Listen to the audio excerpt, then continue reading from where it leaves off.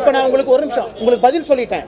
இதுல என்ன பிடிக்குதோ போடுங்க. பிடிக்காத குப்பை தொட்டியில போட்டுக்கங்க. அடுத்த கேள்வி. அடுத்த கேள்வி. காங்கிரஸை புறக்கணிப்பதற்காக வேலை நடக்கிறது. அது திமுக உடன்படக்கூடாது திருமாவளவன் சொல்லியிருக்காரு. நீங்க எப்படி பார்க்கறீங்க? தமிழ்நாட்டை பொறுத்தவரை தமிழ்நாட்டை பொறுத்தவரை சில கட்சிகளுக்கு இங்க வேலையே இல்லை. இன்னொரு கட்சி சிம்பிள்ல நின்று ஜெயிச்சா தான் அந்த கட்சிக்கு இங்க வாழ்க்கையே. இல்ல இல்ல நான் பண்ணாதீங்க. பிரஸ் மீட் தயவு செய்து பண்ணாதீங்க. இன்னொரு கட்சியினுடைய சார்ந்து அவங்க சிம்பிள்ல நின்னா தான் அந்த கட்சிக்கு உயிரே. இவங்க எல்லாமே என்ன நினைக்கிறாங்க? டிஎம்கே அப்படிங்கிற ஒரு கட்டுமரத்தை கெட்டியா பிடிச்சிக்கிட்டு கடலுக்குள்ள எடுத்துட்டு போயிட்டு அதை வச்சு தத்தளிச்சு தப்பிச்சு வந்துடலாங்க இரண்டாயிரத்தி இருபத்தி நாலு வரப்போவது மோடிஜியினுடைய அலை.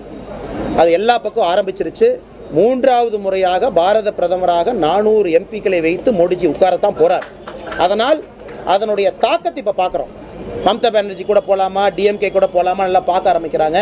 இன்னும் ஒரு வருடம் கழிச்சு பாருங்கள் யூபி எலெக்ஷன் நடந்ததுக்கப்புறம் பாருங்கள் அந்த பேச்சுக்கு இடமே இருக்காது. என்னதான் அவர்கள் பிஜேபியை எதிர்த்து பிரச்சாரம் செய்தாலும் கூட பிஜேபி இருக்கின்ற அணி அந்த அணி தமிழகத்தில் அதிகமான எம்பிக்களை பெற்று நம்முடைய எம்பிக்கள் கேபினெட்டிலே சென்று அமருவார்கள் என்பதில் எந்த ஒரு மாற்று கருத்தும் கிடையாது. மூன்றாவது அணிக்கு வந்து திமுக போகக்கூடாதுன்ற ஒரு கருத்தை வந்து திருமாவளவன் அது வந்து பாஜக சாதகம் ஒரு கருத்து வந்து அண்ணா நீங்கள் தமிழ்நாட்டில் மூன்றாவது அணி நான்காவது அணி அஞ்சாவது அணி ஆறாவது அணி ஃபார்ம் பண்ணுங்க. எங்களது ஒரே அணி தான் நாங்கள் தான் ஜெயிக்க போகிறோம் நாங்கள் ரெண்டாவது அணியை பற்றி கவலைப்படல மூன்றாவது அணியை பற்றி கவலைப்படல. ஏன்னா இரண்டாயிரத்தி இருபத்தி நாலு தேர்தல் என்பது முக்கியமான தேர்தல். மக்கள் வந்து ரெண்டே விஷயத்தை பார்த்தா ஓட்டு போட போகிறாங்க நானூறு சீட்டு பிஜேபி ஜெயிக்க போது தமிழ்நாட்டிலிருந்து தமிழ்நாட்டிலிருந்து எம்பிக்கள் நமக்கு வேணுமா?